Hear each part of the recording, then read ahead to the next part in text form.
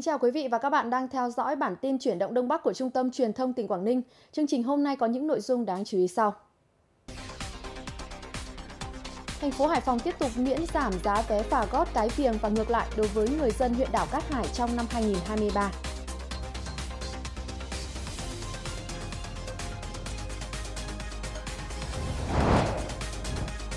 Nhờ sự quan tâm kịp thời của tỉnh Quảng Ninh, ưu tiên cấp điện cho du lịch, chất lượng dịch vụ của Quảng Ninh được cải thiện rõ rệt, phục vụ tốt du khách.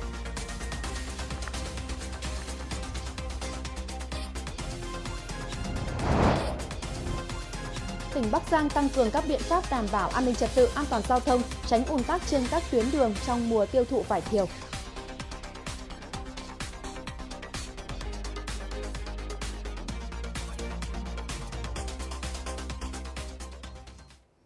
Ủy ban nhân dân thành phố Hải Phòng vừa đồng ý chủ trương tiếp tục thực hiện miễn giảm giá vé qua phà gót Cái Viềng và ngược lại đối với nhân dân huyện đảo Cát Hải trong năm 2023. Cụ thể miễn giá dịch vụ qua phà đối với học sinh, sinh viên, giáo viên có hộ khẩu thường trú trên địa bàn huyện Cát Hải, giảm giá dịch vụ đối với người dân có hộ khẩu thường trú trên địa bàn huyện Cát Hải, hành khách đi bộ, hành khách đi xe đạp, xe đạp thồ các loại, hành khách đi xe máy. Phương tiện ô tô dưới 9 chỗ ngồi không kinh doanh của người dân có hộ khẩu thường trú trên địa bàn huyện Cát Hải – Thời gian thực hiện miễn giảm từ ngày 1 tháng 1 đến hết ngày 31 tháng 12 năm 2023. 5 tháng đầu năm Quảng Ninh đón khoảng 7,1 triệu lượt khách du lịch, gấp 1,7 lần so với cùng kỳ năm ngoái. Tổng doanh thu du lịch trên 13.000 tỷ đồng, gấp 1,83 lần cùng kỳ. Dự kiến từ nay đến tháng 9, các điểm đến trên địa bàn tỉnh đón trên 6,1 triệu lượt khách, nỗ lực hiện thực hóa mục tiêu này, ngành du lịch tiếp tục thực hiện kế hoạch quảng bá xúc tiến du lịch, đảm bảo đón 15 triệu lượt khách trong năm 2023 tập trung vào thị trường nội địa và một số thị trường quốc tế trọng điểm, đẩy mạnh kết nối các địa phương, các tổ chức doanh nghiệp để trao đổi nguồn khách, tổ chức các hoạt động sự kiện để thu hút du lịch, đồng thời làm việc với các hãng lữ hành hàng không về việc xúc tiến gửi khách qua cảng hàng không quốc tế Vân Đồn, thúc đẩy gia tăng chuỗi giá trị sản phẩm du lịch biển, du lịch sinh thái, du lịch nghỉ dưỡng cao cấp đặc sắc, khuyến khích phát triển du lịch cộng đồng tại các địa phương trong tỉnh, nhất là du lịch sinh thái khám phá trải nghiệm gắn với cảnh quan thiên nhiên, bản sắc dân tộc ở các khu vực miền Đông và phát triển tối đa sản phẩm du lịch văn hóa, lịch sử tâm linh. Nhằm hạn chế thấp nhất ảnh hưởng đến các hoạt động phát triển kinh tế, trong các ngày cuối tuần, các khu điểm du lịch trên địa bàn thành phố Hạ Long, tỉnh Quảng Ninh sẽ được ưu tiên duy trì điện lưới ổn định, đảm bảo điều kiện tốt nhất phục vụ du lịch. Điều này đang mang đến những tác động rất tích cực. Các trọng điểm du lịch Quảng Ninh tiếp tục sôi động dịp cuối tuần này. Thành phố Hạ Long, trung tâm du lịch của tỉnh, đón khoảng 100.000 lượt du khách, tăng 20% so với cùng thời điểm tuần trước. Trong đó Vinh Hạ Long gần 40.000 lượt khách. Các điểm đến khác như tổ hợp Sun World, Tuần Châu, lượng khách đều có xu hướng tăng. Khu vực biển đảo của Quảng Ninh như Vân Đồn, Cô Tô, Móng Cái cũng đón hàng vạn lượt khách du lịch. Bên cạnh những trải nghiệm sản phẩm mới, sự quan tâm của phần lớn khách du lịch hiện nay là các điều kiện đảm bảo chất lượng dịch vụ, đặc biệt là điện, Thường quan là những những nơi mình đi kể cả cửa hàng, cửa hiệu buổi tối đều được cung cấp điện đầy đủ. À, nên là mình có những trải nghiệm rất là tốt ở nơi đây. Lần thứ ba mình đến à, Hạ Long để à, nghỉ mát và mình thấy là cái à, dịch vụ ở Hạ Long nó rất là tốt và điện thì cung cấp rất là đầy đủ. Cùng với chủ động nguồn cung năng lượng dự phòng, nhiều đơn vị trong chuỗi cung ứng dịch vụ cũng linh hoạt thích ứng bằng nhiều giải pháp tiết giảm điện năng phù hợp. Ý thức trách nhiệm chung tay tiết kiệm điện được nâng lên với sự chia sẻ cùng thực hiện của cả doanh nghiệp và chính du khách. Ảnh hưởng của điện thì du khách cũng mang đến cho du khách cái khó chịu, chẳng hạn như là đặc biệt là vào cái mùa hè nóng lực thì ờ, cùng với đó thì doanh nghiệp cũng có chia sẻ những cái khó khăn của ngành điện với du khách và cũng đang ờ, khách hàng cũng đang hiểu được cái cái cái thiết thực lúc này về cái tiết kiệm điện. Những giải pháp kịp thời hiệu quả của tỉnh ưu tiên cấp điện cho các ngành trọng điểm, trong đó có du lịch, đóng vai trò quan trọng tiếp tục nâng cao chất lượng dịch vụ, giữ vững hình ảnh điểm đến hấp dẫn của du lịch Quảng Ninh để mang đến cho du khách những trải nghiệm trọn vẹn nhất. Tổng cục Du lịch mới đây đã có văn bản gửi ngành du lịch các địa phương tuyên truyền tới người dân cần tìm hiểu kỹ thông tin trước khi giao kết hợp đồng sở hữu kỳ nghỉ. Thời gian qua, Tổng cục Du lịch nhận được nhiều đơn thư của công dân liên quan đến việc mua dịch vụ sở hữu kỳ nghỉ Do đó, Tổng cục Du lịch khuyến cáo người dân cần tìm hiểu rõ bản chất lợi ích của sản phẩm dịch vụ và các rủi ro tiềm ẩn. Bên cạnh đó, cần so sánh các thông tin được quảng cáo, chào bán hoặc cam kết miệng của doanh nghiệp với điều khoản quy định chính thức tại dự thảo hợp đồng. Khi có sự không thống nhất giữa thông tin chào bán và hợp đồng hoặc có các quy định điều khoản trong hợp đồng chưa rõ ràng thì người tiêu dùng cần đề nghị doanh nghiệp giải thích làm rõ và sửa đổi bổ sung. Các địa phương cũng cần tăng cường công tác kiểm tra, thanh tra các đơn vị có cung cấp dịch vụ sở hữu kỳ nghỉ nhằm đảm bảo thực hiện theo đúng quy định của pháp luật và chất lượng sản phẩm dịch vụ cung cấp tới người tiêu dùng. Tiếp nhận và giải quyết kịp thời các đơn thư phản ánh của công dân theo thẩm quyền. Theo Sở Công Thương tỉnh Bắc Giang, từ đầu vụ vải thiều đến nay, toàn tỉnh thu hoạch tiêu thụ hơn 27.000 tấn vải. Trong số này có khoảng 60% sản lượng được xuất khẩu. Trong đó 50% sản lượng vải thiều tiêu thụ tập trung tại huyện Tân Yên với khoảng 13.000 tấn, huyện Lục Ngạn hơn 9.500 tấn và một số ít sản lượng ở các huyện khác là Lục Nam, Yên Thế, Sơn Động. Gần 11.000 tấn vải được tiêu thụ thị trường trong nước thông qua các chợ đầu mối siêu thị, hệ thống bán lẻ. Tỉnh Bắc Giang đã xuất khẩu hơn 16.000 tấn vải chủ yếu sang thị trường Trung Quốc, gần 50 tấn xuất sang Nhật Bản, Mỹ, EU và một số thị trường khác. Trên địa bàn hiện có gần 200 điểm cân đã hoạt động. Sản lượng vải dự kiến cả vụ đạt 180.000 tấn, trong đó dự kiến sẽ xuất khẩu gần 100.000 tấn. Bước vào mùa tiêu thụ vải thiều, Công an huyện Lục Ngạn, tỉnh Bắc Giang chỉ đạo lực lượng cảnh sát giao thông, công an các xã thị trấn tăng cường lực lượng giữ gìn an ninh trật tự và đảm bảo trật tự an toàn giao thông, tránh ùn tắc trên các tuyến đường. Trên địa bàn huyện Lục Ngạn có tuyến quốc lộ 31, quốc lộ 279 và tỉnh lộ 293, tỉnh lộ 290 đi qua. Ngay từ đầu giờ sáng trên các tuyến đã đông đúc nhộn nhịp khi người dân và các phương tiện giao thông vận chuyển về các điểm cân vải. Đây cũng là nguyên nhân dễ dẫn đến ùn tắc cục bộ. Để giải quyết vấn đề này, Công an huyện đã chỉ đạo đội cảnh sát giao thông trật tự chia làm hai tổ công tác, phối hợp với công an các xã thị trấn để phân làn, điều tiết giao thông và nhắc nhở người dân thương lái không để xe dưới lòng đường, vỉa hè gây ùn tắc. Với em thì em lúc nào cũng phải để chấp hành cố gắng để xe gọn nhất như trong ờ, trên ờ, phải thuê điểm như trên anh con ờ, ở trong khỏi phạm vi lưu thông của lòng lề đường. Vâng, chúng tôi đi đúng ra là đi bán vải thì chúng tôi vẫn cũng là đi dưới lòng lề đường nhưng mà trong cái khoảng thời gian nhất định là cho phép để chúng tôi thông lưu hàng hóa để bán xong thì thứ nhất là thương lái thì tạo điều kiện lấy nhanh cho bà con để bà con đỡ ách tắc giao thông.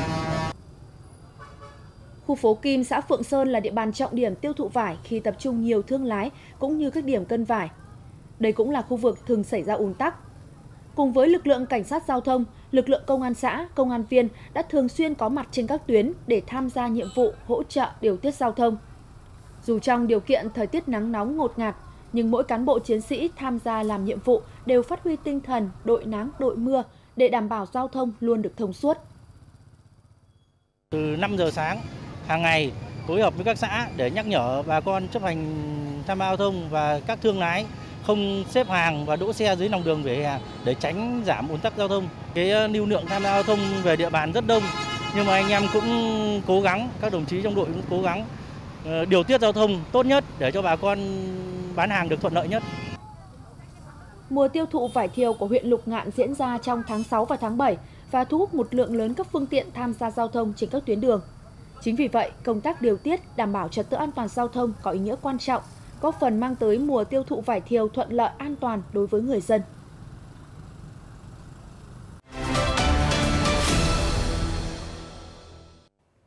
Cùng với điện thì việc sử dụng nước tiết kiệm hiệu quả cũng là yêu cầu bức thiết vào các mùa nắng nóng. Nhất là trong thời điểm hiện nay nắng nóng kéo dài, mưa ít đang khiến cho mực nước tại các hồ chứa trên địa bàn thấp hơn so với cùng kỳ. Trước tình hình đó, người dân cũng như các hộ dùng nước cần sử dụng nước hiệu quả và tiết kiệm để duy trì nguồn nước phục vụ sản xuất và sinh hoạt hàng ngày. Công ty trách nhiệm hữu hạn một thành viên thủy lợi Đông Triều đang quản lý 18 hồ đập vừa và nhỏ với tổng dung tích trữ khoảng 35,8 triệu mét khối nước.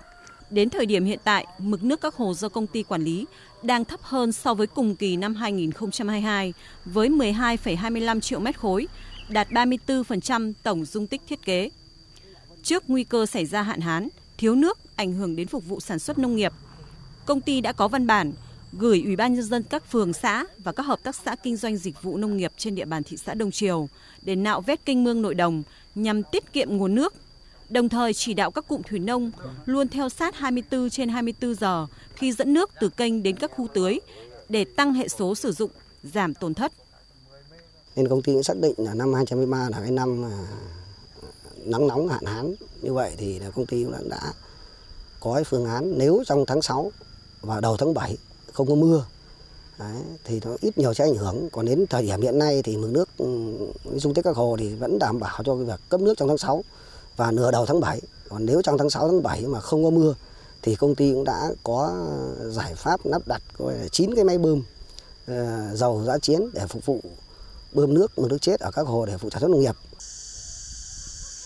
Trên địa bàn tỉnh đang có 176 hồ đập hoạt động thực hiện cung cấp nước tưới tiêu, nước sinh hoạt cho người dân. Tổng dung tích hữu ích chứa của các hồ là trên 315 triệu mét khối. Đến thời điểm hiện tại, còn 170,6 triệu mét khối, tương ứng với 54% trữ lượng nước, đủ để cung cấp nước tưới tiêu, sinh hoạt cho người dân đến đầu tháng 7. Hiện tại bây giờ cái khu vực miền Đông thì cơ bản sẽ đảm bảo được khoảng 3 tháng nữa. Miền Tây thì cơ bản được 2 tháng. Nếu như mà chúng ta có phương án xử lý, sử dụng nước tốt, tiết kiệm, thì chúng tôi khuyên cáo là trong cái điều kiện thời tiết như thế này thì đề nghị là ngành thì đang chỉ đạo các công ty thủy lợi là tích nước và điều tiết nước nó phù hợp và khoa học. Thứ hai nữa là các địa phương phải tuyên truyền vận động người dân và các hộ sử dụng nước là phải sử dụng nước tiết kiệm và hợp lý. Đặc biệt là trong quá trình mở nước tưới thì phải vận động tuyên truyền nhân dân để lấy nước hợp lý trong cái thời gian mở nước để tránh cái lãng phí thất thoát ở trên cái hệ thống tưới và sử dụng nước tiết kiệm trong cái quá trình sinh hoạt cũng như là cho sản xuất. Để giải bài toán về đảm bảo an ninh nguồn nước cho phát triển bền vững, từ cuối năm 2022, Ban chấp hành Đảng bộ tỉnh đã ban hành nghị quyết 10 về tăng cường sự lãnh đạo của Đảng đối với quản lý tài nguyên, bảo vệ môi trường, phòng tránh và giảm nhẹ thiên tai, ứng phó với biến đổi khí hậu, đảm bảo an ninh nguồn nước giai đoạn 2022-2030. Ủy ban dân tỉnh cũng đã phê duyệt ngay đề án đảm bảo an ninh nguồn nước trên địa bàn tỉnh đến năm 2025, tầm nhìn đến năm 2030 để chủ động ứng phó với biến đổi khí hậu và hiện tượng El Nino. Nằm ở độ cao từ 1.000 đến 1.500 mét so với mặt nước biển, vùng lục khu, huyện Hà Quảng, tỉnh Cao Bằng chủ yếu là núi đá vôi, nước sinh hoạt và sản xuất phụ thuộc hoàn toàn vào tự nhiên. Người dân thường xuyên thiếu nước sinh hoạt từ 3 đến 5 tháng một năm. Mơ ước của đồng bào vùng cao nơi đây là luôn hóa giải, luôn là hóa giải được cơn khát khi mùa khô đến. Ước mơ tưởng như xa vời và khó có thể thực hiện ấy nay đã dần thành hiện thực nhờ sự nỗ lực cải thiện nguồn nước sinh hoạt cho người dân của các cấp chính quyền. Vùng đất treo leo trên những dãy núi đá đã dần giải được cơn khát. Trước đây, do thiếu nước sinh hoạt, mỗi ngày anh Tường, xã Thượng Thôn phải dậy từ sáng sớm, đi 6 km đường rừng để lấy nước. Nước đã qua sử dụng lại được tận dụng để tưới cây trồng và phải chắt chiu từng giọt. Người khác, hoa màu, gia súc đều khát, nhất là khi mùa khô hạn đến. Thế nhưng giờ đây, khi có hồ chứa nước sinh hoạt chung này, quãng đường lấy nước của anh cũng như mọi người trong xóm đã dễ dàng hơn. Trước thì cũng phải bắt bán bớt châu bò, lợn vào mùa khô để mà giảm cái ờ, nước ờ, sinh hoạt hàng ngày. Nhưng mà bây giờ thì cũng đỡ rồi. Bây giờ thì cũng nhờ đảng nhà nước thì quan tâm thì cũng à, đầu tư xây hồ cho bà con ở đây thì cũng vụ à, nước thì cũng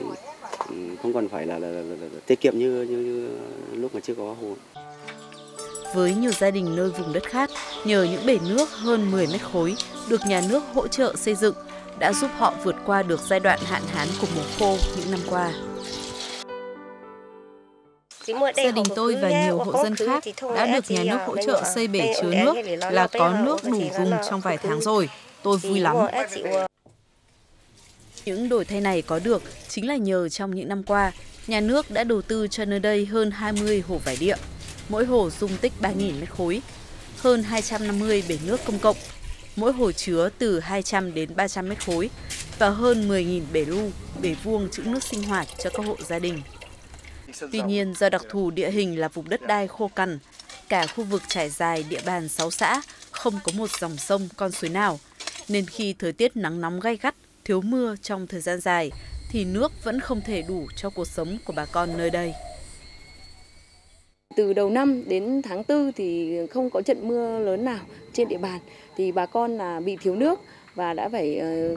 vận chuyển nước từ cái ờ, những cái xã ở vùng đồng lên để sử dụng gọi là phục vụ cho sinh hoạt hàng ngày. Hiện nay thì Bộ Nông nghiệp đã phê duyệt một cái dự án để đầu tư 14 cái hồ trong giai đoạn từ từ nay đến 2025 là cơ bản xử lý dứt điểm cái tình trạng thiếu nước cục bộ của vùng khu Hà Quảng và sẽ tăng cái lượng nước mà người dân được sử dụng từ 45 lít trên người trên ngày lên 60 lít trên người trên ngày. Với sự vào cuộc của cả hệ thống chính trị và xã hội, cuộc sống của người dân ở vùng tâm khát này đang từng ngày đổi thay. Đưa nước sinh hoạt đến với vùng cao đã tạo điều kiện để bà con ổn định cuộc sống, phát triển sản xuất, bám đất bám làng, bảo vệ bình yên nơi biên giới tại vùng đất nước quý hơn vàng ngày.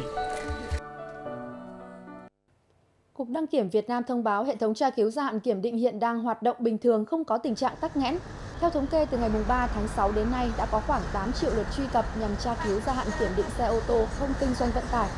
Do số người truy cập tăng đột biến nên một số thời điểm trang thông tin điện tử của Cục Đăng kiểm http 2 2 cái chéo www.vr.org.vn bị quá tải không truy cập được. Nhiều thời điểm trang có tốc độ truy cập chậm, Do đó, để tránh tình trạng tắc nghẽn trở lại, Cục Đăng kiểm Việt Nam khuyến cáo chủ xe vào trực tiếp địa chỉ https 2 2 gạch chéo gia hạn c xcgrv.org.vn để thực hiện tra cứu và in giấy xác nhận thời hạn hiệu lực của giấy chứng nhận và tem kiểm định. Theo Hiệp hội Vận tải ô tô Việt Nam, hiện nay có tình trạng một số xe che phủ biển số hoặc làm thay đổi chữ số trên biển số. Đây là những xe cố tình chở hàng vượt quá giới hạn khối lượng hàng chuyên chở cho phép tham gia giao thông và khối lượng toàn bộ của xe vượt quá giới hạn tổng trọng lượng từ mức trên 30% đến gần 100%. Vì vậy, Hiệp hội đề nghị các chủ xe lái xe, các hội viên kinh doanh vận tải nếu đã vi phạm cần phải chấm dứt ngay. Đồng thời kiến nghị Bộ Giao thông Vận tải nhân rộng mô hình kiểm tra tải trọng xe tự động tại quốc lộ 5 áp dụng cho hệ thống đường bộ cao tốc, hệ thống quốc lộ và trục đường có nhiều xe tải lưu thông để ngăn chặn và tiến tới chấm dứt tình trạng xe chở hàng vượt quá tải trọng cho phép nhằm bảo vệ công trình đường bộ, giảm tai nạn giao thông, tạo sự công bằng giữa các doanh nghiệp vận tải đường bộ và giữa các phương thức vận tải, giảm áp lực giao thông vận tải đường bộ, giảm chi phí đầu tư, quản lý, khai thác hệ thống cân kiểm tra tải trọng xe, ngăn chặn tiêu cực trong công tác kiểm soát tải trọng xe. Lời kêu gọi thi đua ái quốc của Chủ tịch Hồ Chí Minh chính là lời hiệu triệu nhân dân cả nước, tạo thành một sức mạnh lớn lao đưa đất nước vượt qua thử thách. Thi đua đã trở thành động lực phát huy lòng yêu nước và thể hiện bằng những hành động cụ thể trong lao động sản xuất và chiến đấu. Từ trong phong trào thi đua đã xuất hiện nhiều gương điển hình tiên tiến tiêu biểu trên các lĩnh vực, đóng góp vào sự phát triển chung của tỉnh Quảng Ninh những năm qua. Trong đó có thợ lò Lê Văn Biên là một trong những tấm gương tiêu biểu của ngành than trong thực hiện các phong trào thi đua lao động sản xuất và là một trong 700 điển hình tiên tiến dự hội nghị biểu dương tôn vinh điển hình tiên tiến trong toàn quốc. Nhân kỷ niệm 75 năm ngày Chủ tịch Hồ Chí Minh ra lời kêu gọi thi đua ái quốc. Xuất phát từ yêu cầu tăng năng suất sản lượng của phân xưởng, thợ lò Lê Văn Biên, phân xưởng khai thác 7 công ty than thống nhất đã chủ động đề xuất ý tưởng và trực tiếp thực hiện việc chống xén cải tạo lò thượng thông gió cánh nam khu lộ trí. Đây là một trong số rất nhiều sáng kiến nhằm hợp lý hóa sản xuất, giúp nâng cao công tác an toàn do thợ mỏ Lê Văn Biên đề xuất thực hiện. Để có được những đề xuất đó, thợ lò Lê Văn Biên luôn khắc ghi sâu sắc lời dạy của Chủ tịch Hồ Chí Minh về thi đua yêu nước, gắn việc thi đua yêu nước với học tập và làm theo tư tưởng đạo đức phong cách Hồ Chí Minh. Trong mỗi công việc được giao, anh luôn xác định phải đi đầu trong các phong trào thi đua lao động sản xuất. Đã đi làm thì phải làm có năng suất. Việc hôm nay không để đến ngày mai, phải đảm bảo an toàn cho mình và cho đồng đội. Phải có thu nhập cao, không để thua kém bạn bè, đồng nghiệp. Học ờ, từ lời căn dặn của bác là thi đua là yêu nước, yêu nước là phải thi đua. Thì ờ, trong lao động sản xuất thì bản thân tôi thì luôn luôn cố gắng là phải đạt được cái ngày đủ ngày công, ờ, đủ cái năng suất, tìm tòi, học hỏi để có những cái sáng kiến ờ, cải tiến kỹ thuật giúp giảm được cái sức lao động và tăng cái thu nhập thì ờ, thu nhập của tôi là cái mức bình quân là là là trên trên 30 triệu ờ, đồng một tháng.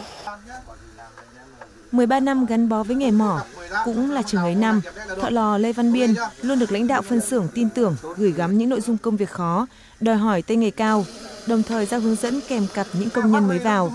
Đóng góp của những cá nhân như thợ lò Lê Văn Biên cùng sự quan tâm nhân rộng những phong trào thi đua cá nhân điển hình tiên tiến đã giúp Than Thống Nhất luôn hoàn thành tốt nhiệm vụ sản xuất kinh doanh. Riêng phân xưởng khai thác 7 trong nhiều năm liên tiếp đạt năng suất dẫn đầu tập đoàn TKV. Tôi thì ờ, làm việc với đồng chí Biên thì nói chung là rất là tự hào và vì ờ, bên cạnh của mình ờ, luôn là một người có dày dặn kinh nghiệm, một người giỏi để chúng tôi luôn là một cái tấm gương để chúng tôi noi theo. Đồng chí Biên thì trong quá trình cũng là làm việc thì là đồng chí cái tay nghề của đồng chí là rất là rất là tốt và tinh thần trách nhiệm cũng là rất là cao. Thông qua các phong trào thi đua do công ty Than Thống Nhất phát động như thi đua hoàn thành kế hoạch tháng quý năm, tự chủ công tác an toàn vệ sinh lao động, dành ngày công năng suất lao động cao, trở thành cá nhân tiêu biểu xuất sắc quý năm, lao động giỏi, thu nhập cao, phát huy sáng kiến cải tiến kỹ thuật, hợp lý hóa sản xuất đã giúp Than Thống Nhất ngày càng có thêm nhiều những tấm gương điển hình tiên tiến như anh Lê Văn Biên. Triển khai ờ, đồng bộ tất cả các cái ờ, biện pháp để các cái phong trào thi đua, trong đó vẫn ờ, chú trọng vào cái phong trào lao động giỏi, lao động sáng tạo, tìm tôn vinh các cái điển hình tiên tiến và từ đó để có thể lan tỏa được đến các cái tập thể, các cái cá nhân và song song với các cái biện pháp hỗ trợ của công ty để có nhiều các tấm gương điển hình tiên tiến như anh Lê Văn Biên. Bằng nhiều đóng góp và công hiến với nghề, thợ lò Lê Văn Biên đã được Đảng, Nhà nước tặng nhiều bằng khen và giải thưởng cao quý. Bản tin chuyển động Đông Bắc của Trung tâm Truyền thông tỉnh Quảng Ninh xin được kết thúc tại đây. Cảm ơn quý vị và các bạn đã quan tâm theo dõi. Xin kính chào tạm biệt và hẹn gặp lại.